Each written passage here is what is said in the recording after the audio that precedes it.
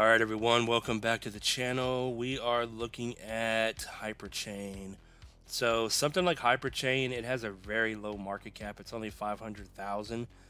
Um, so just be careful, you guys, with this thing. Um, hopefully you are in this. If you are in this, you did take profit.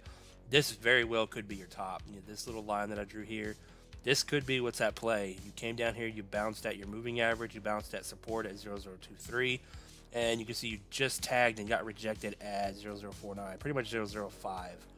So this may be in play here, so just be very very careful that is.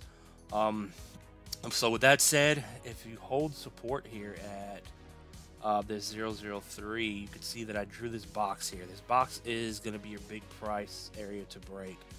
If you can come back up here about a 44, 45% move, to pretty much 005. It's at 00497. Uh, anywhere from 005 up here to 007. You're looking at about 112% just to get through this box here. But if you get through this box, there's nothing stopping this thing from going to the moon. Um, if you get through this and get all the way up here to this uh, level up here at 2 cents, uh, that's about that's over a 500% move on um, Hyperchain here. So just watch those prices to the upside. And if you end up losing 003 here, you really need to hold 002 down here for support.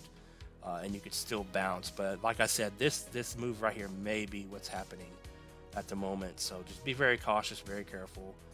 Um, so just watch those couple of prices. Is really all I got to say on it.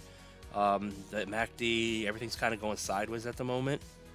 And the Heikin Ashi candles are starting to print green again. So we'll see if we can have another giant fat one spawn in and this thing start blasting off to the moon again.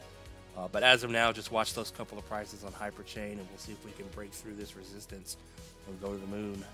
Um, but like I said, this could very well be your top and you're going to break through these supports and come back down to 001 or even lower. So we'll leave it at that. Not financial advice. Thanks for watching, everyone. Peace out.